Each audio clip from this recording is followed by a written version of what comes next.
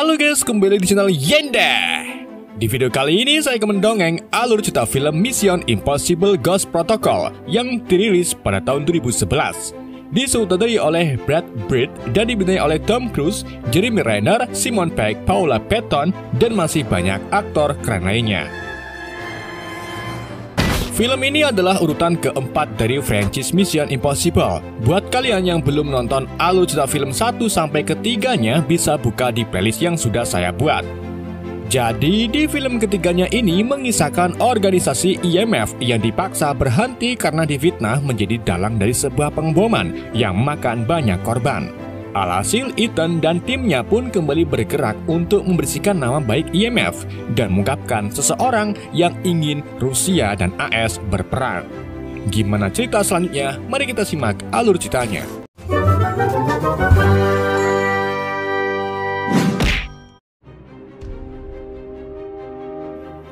Semuanya berawal di Budapest, di mana seorang agen IMF bernama Trevor Hanway lari dari para musuh setelah mencuri kode peluncuran nuklir Rusia. Trevor pun berhasil lolos setelah melompat dari gedung dan mendarat menggunakan kantong udara. Tapi ternyata Trevor telat mengetahui kalau ada musuh lain yang sedang mengintainya.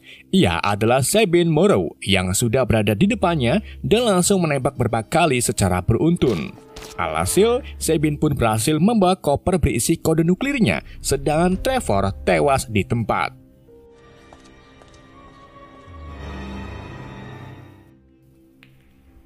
Kita kemudian beralih ke penjara Moskow, di mana sebuah tim kecil IMF yang terdiri dari Benji Dunn dan Jen Carter mencoba untuk membebaskan seorang tahanan. Sebelumnya, Benji ini merupakan teknisi di IMF, tapi Benji lolos dalam ujian agen dan sekarang bekerja di lapangan.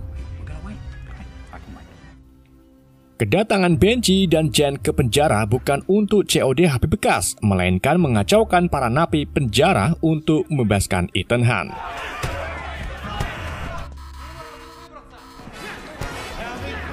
Lalu bagaimana Ethan bisa masuk ke penjara? Padahal di ending film ketiga, Ethan hidup damai dengan istrinya yaitu Julia.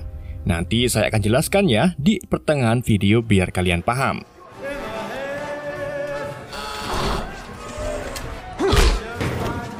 Dalam pembebasan para napi untuk mengacaukan petugas sipir, Ethan tidak langsung keluar dan malah membebaskan salah satu tahanan sekaligus informan Ethan bernama Bogdan. Keduanya lalu kabur melalui lubang di ruangan gudang yang sudah dibor oleh Jen.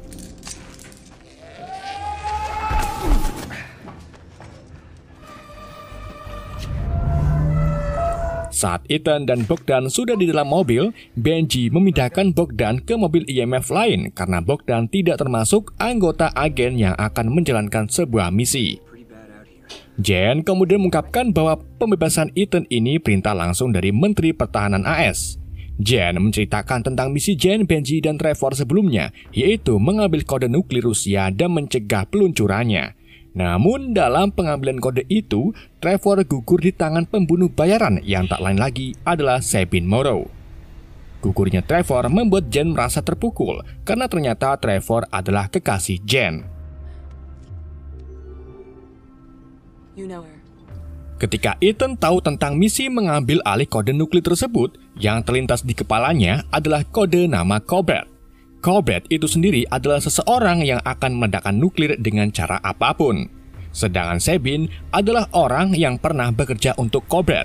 Jadi sudah dipastikan kalau Sabine ini akan menjual kode itu kepada Cobert. Selang tak lama, Benji, Ethan, dan Jen kemudian berhenti di telepon umum untuk mendengarkan misi. Namun kali ini hanya suara saja yang terdengar dan tidak diketahui siapa yang memberi misi. Yang jelas orang itu adalah bos Ethan. Misi Ethan kali ini adalah menyusup ke ruang arsip Kremlin Moskow untuk mencari informasi tentang Kobet. Kremlin itu sendiri adalah benteng dan kompleksi istana bersejarah di pusat kota Moskow, Rusia. Jadi sudah dipastikan di sana banyak militer dan penjagaan yang sangat ketat.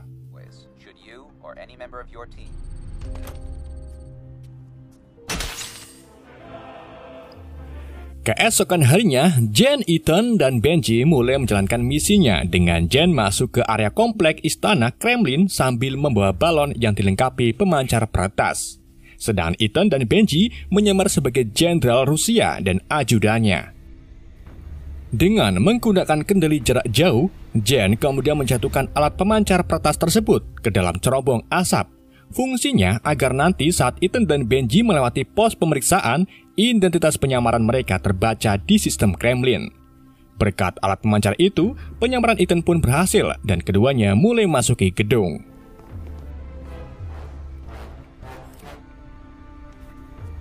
Setibanya di ruangan arsip penyimpanan, Ethan serta Benji mengelabuhi salah satu penjaga dengan masang layar proyeksi yang bisa mendeteksi mata si penjaga.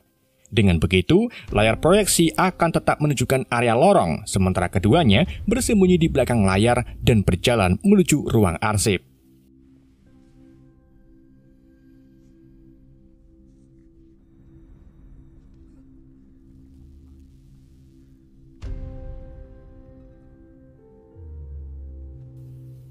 Ketika Ethan masuk ke dalam ruang arsip, ia mendapati bahwa ternyata catatan tentang Cobret hilang atau diambil oleh seseorang.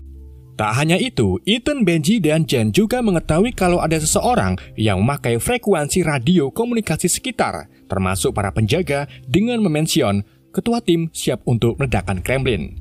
Ethan pun langsung beritahu Jen serta Benji kalau misi dibatalkan dan segera pergi meninggalkan gedung. Di saat itu juga, Ethan tak sengaja berpapasan dengan seorang pria Eropa bermata biru yang membawa sebuah koper. Tetapi Ethan menghiraukannya karena situasi saat ini sedang kacau. Ethan akhirnya berhasil keluar dari gedung dan mengganti penampilannya dengan sangat cepat. Beberapa detik kemudian, tiba-tiba ledakan besar terjadi. Ledakan itu menghancurkan bangunan Kremlin dan memakan banyak korban. Begitu pula dengan Ethan yang pingsan akibat terjadinya ledakan.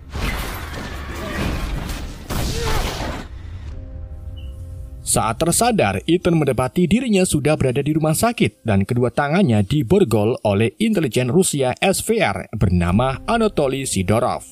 Rupa-rupanya, Ethan disalahkan atas pengeboman Kremlin karena memakai jaket penyamaran. Sidorov juga menunjukkan rekaman radio komunikasi yang menyebut ketua tim yang diyakini sebagai Ethan.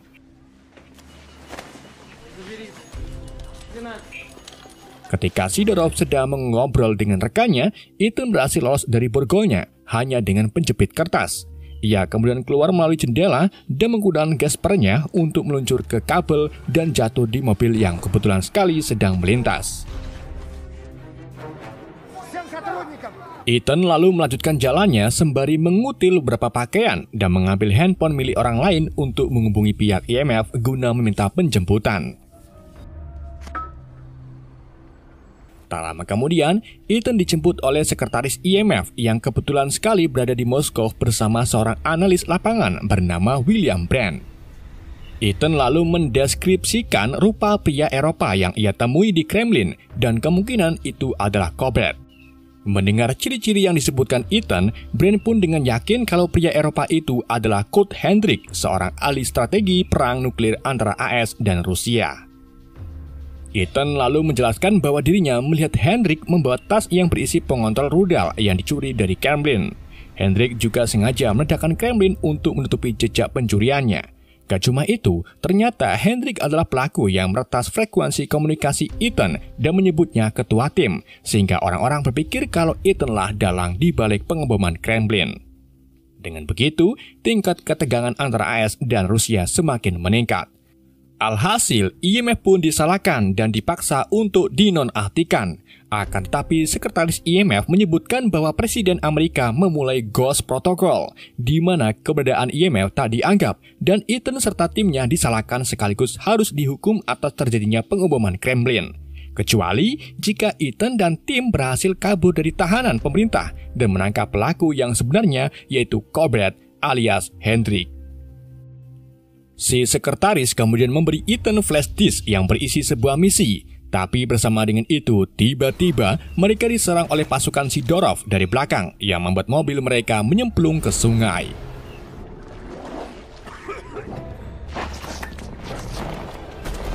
Sekretaris dan sopir terbunuh dalam serangan tersebut, sedangkan Ethan serta Brand berhasil melarikan diri.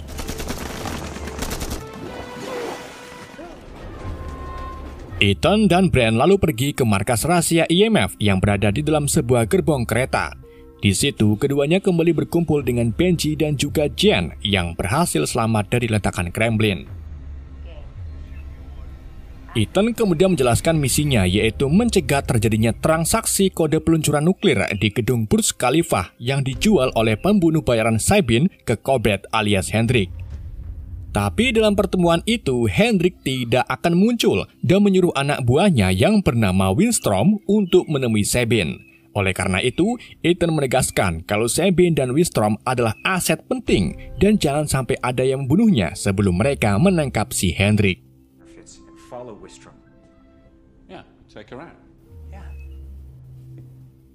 Ethan dan timnya lalu menuju ke gedung Burj Khalifa di Dubai, di mana Sabin dan Winstrom akan melakukan transaksi di sana. Namun sebelum menjalankan misinya, mereka harus meretas keamanan gedung untuk mengontrol sistem. Dan satu-satunya cara untuk masuk ke dalam ruang kontrol, Ethan harus menyusup melalui jendela. Tentunya, ini bukanlah tugas yang mudah karena ruangan itu berada di lantai 130. Dengan menggunakan sarung tangan yang bisa menempel di kaca sangat erat, Ethan pun memberanikan diri merembet-merembet menaiki gedung. Di adegan ini, Tom Cruise tidak menggunakan stuntman dan Tom benar-benar menaiki gedung Burj Khalifa dengan bantuan tali. Sungguh aktor yang totalitas. Tepuk tangan buat Tom Cruise. Sat siapa yang kentut, cuk? Dalam adegan tersebut, salah satu sarung tangan Ethan kehabisan daya yang membuat Ethan berjuang mati-matian untuk mencapai lantai 130 hanya dengan satu sarung tangan saja.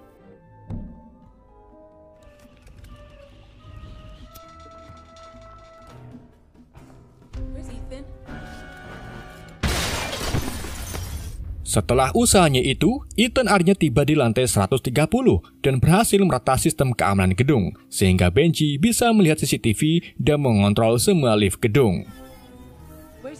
Saat Ethan akan kembali ke ruangan mereka, Ethan menggunakan tali untuk mempercepat waktu, tetapi Ethan mengalami kesulitan karena talinya kurang panjang.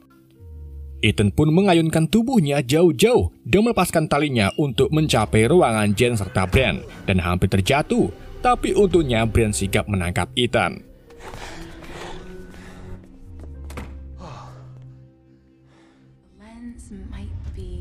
Untuk mencegah transaksi kode nuklir itu terjadi, mereka berencana untuk menukar kode nuklir asli dengan yang palsu. Gimana caranya? Jadi nanti Jen akan berpura-pura menjadi Sabin dan menemui Winstrom untuk melakukan transaksi. Sedangkan Ethan akan menemui Sabin dan menyamar sebagai Winstrom. Namun, sayangnya mereka kembali kena musibah di mana mesin pencetak topeng tiba-tiba rusak. Ethan serta Brand pun terpaksa pergi tanpa menggunakan topeng dan berdoa semoga Sabin belum pernah bertemu dengan Winstrom.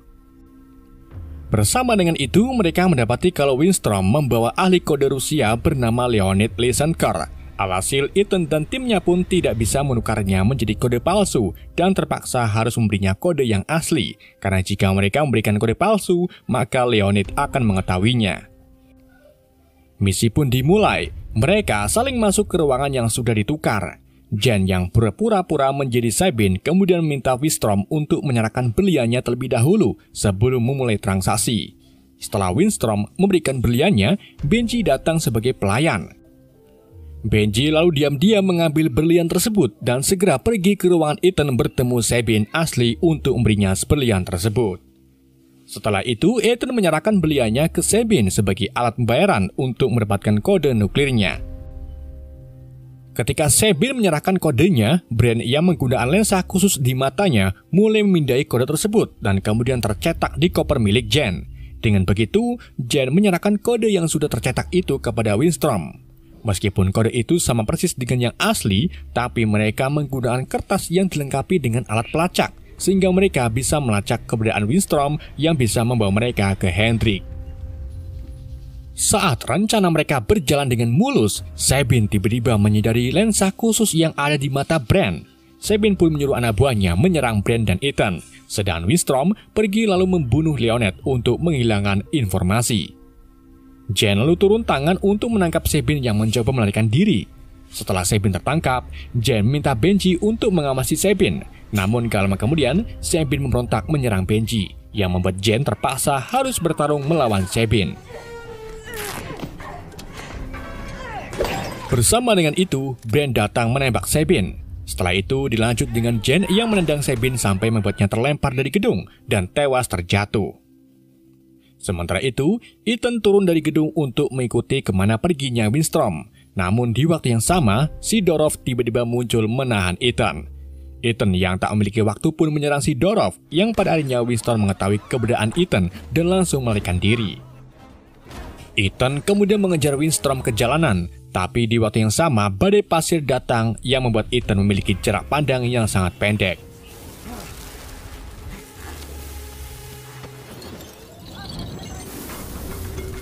Meskipun begitu, Ethan mampu mengetahui ke mana perginya Winstrom hanya dengan instingnya.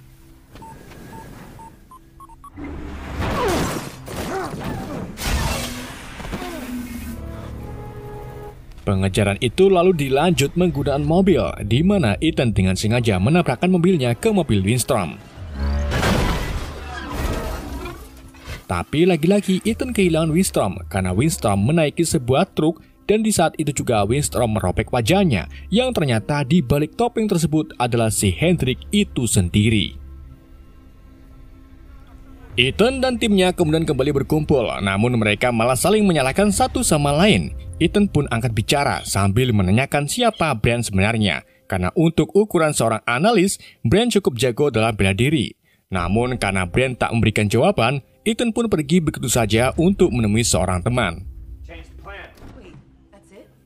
Di samping itu, Benji, Brand, dan Jen lalu mulai menggibah, di mana Brand mengungkapkan kalau dirinya adalah seorang agen rahasia yang enam tahun yang lalu ditugaskan untuk melindungi Ethan dan juga istrinya Julia tanpa sepengetahuan keduanya saat di Kroasia. Hal itu dikarenakan para pemburu Serbia sedang memburu Ethan dan Julia. Pada suatu hari saat Brand dan anak buahnya mengamati Ethan, Brand melihat Ethan pergi meninggalkan Julia di sebuah rumah. Brand pun berencana untuk mengikuti Ethan, sedang anak buahnya ditugaskan untuk menjaga Julia. Namun selang beberapa hari, anak buah Brand ditemukan pingsan dan Julia diketahui telah meninggal. Dan alasan Ethan masuk ke penjara Moskow di awal film yaitu karena Ethan membunuh para pembunuh Serbia tersebut.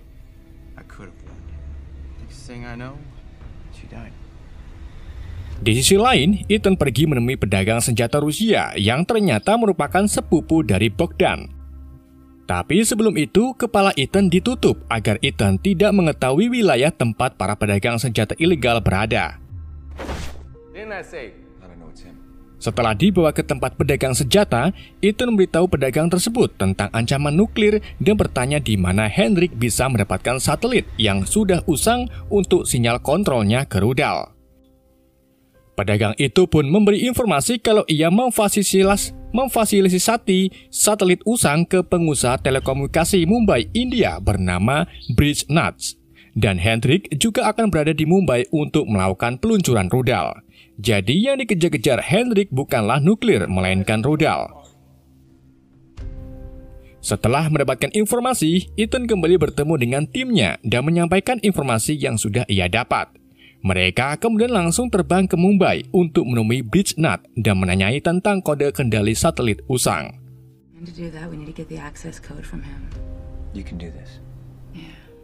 Sesampainya di sana, Ethan menugaskan Jen untuk merayu Nat guna mendapatkan kode kendali satelit, sementara Brand menggunakan satelit magnet khusus dan masuk ke ruang server untuk memberi Benji akses.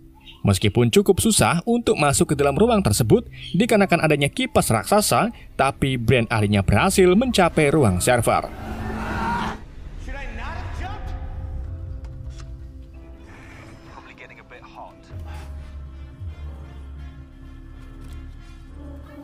Begitu pula dengan Jan yang mengancam Ned dan berhasil mendapatkan kode kendali satelit. Akan tetapi, sayangnya saat Brand sedang memasukkan kode itu ke sistem server, Benji mendapati kalau Hendrik sudah mengambil alih kendali satelit terlebih dahulu. Dan satu-satunya cara untuk menghentikan peluncuran rudal yaitu pergi ke lokasi transmisi. Ethan dan Jen pun langsung pergi menggunakan mobil sportnya, tapi sayangnya mobil sport mereka bahkan tidak bisa melewati kerumunan negara perindapan tersebut yang penuh dengan suara klakson. Sedang rudal telah diluncurkan dari Rusia ke Amerika.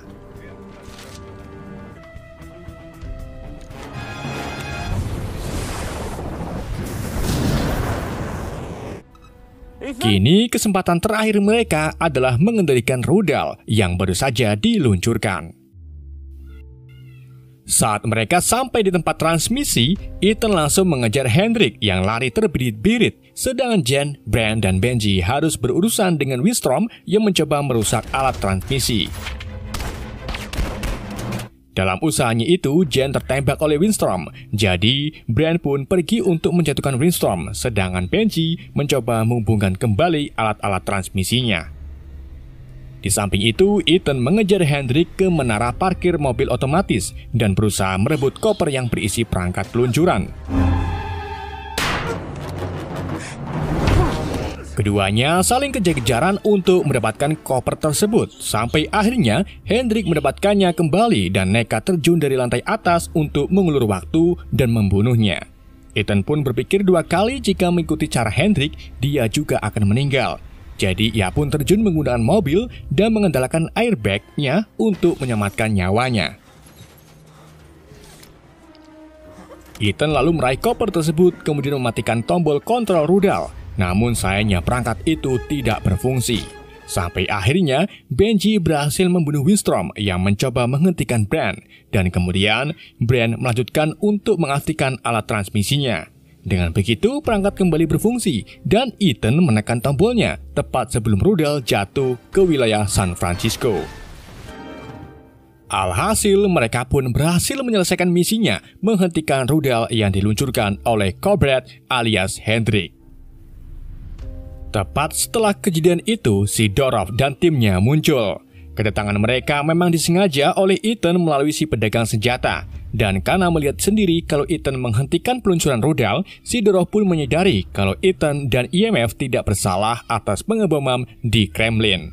Yang salah adalah Hendrik yang sebenarnya memiliki tujuan untuk memicu perang Rusia-AS dengan mengirim rudal dari Rusia ke Amerika. Beberapa waktu kemudian, Ethan bertemu dengan Luther Steichel dan berkumpul dengan anggota tim lainnya di Suttley. Sebelum Luther pergi, ia menawarkan misi baru kepada Ethan dan para timnya, di mana misi tersebut adalah menghentikan pencurian bom. Jen dan Benji pun menerima tawaran tersebut, namun tidak dengan Brand. Brand lalu mengakui tentang kegagalannya menjaga Julia, namun Ethan mengungkapkan kalau Julia sebenarnya masih hidup. Dan Ethan sengaja memalsukan kematian Julia agar istrinya itu terlindungi dari kejahatan. Mengingat kalau pekerjaan Ethan harus berurusan dengan orang-orang jahat. Brand yang lega mendengar pernyataan Ethan pun akhirnya menerima misi dari Luther. Di saat yang sama, Ethan melihat Julia dari kejauhan dan semuanya terlihat baik-baik saja. Ethan kemudian mendapat tugas untuk mengejar para teroris yang disebut The Syndicate. Film pun ditutup dengan Ethan yang berlari ke arah asap sate dan menghilang seperti hantu. Film pun bersambung. Oke guys, itulah alur cerita film Mission Impossible 4 atau Ghost Protocol. Semoga kalian terhibur dengan alur cerita yang saya bawakan. Mohon maaf jika ada kesalahan dalam penyampaiannya. Pesan yang tidak bisa kita ambil dari film ini, tidak ada sesuatu yang menyakitkan selain kejatuhan tai cicak. Sekian dari saya, sampai jumpa di video berikutnya.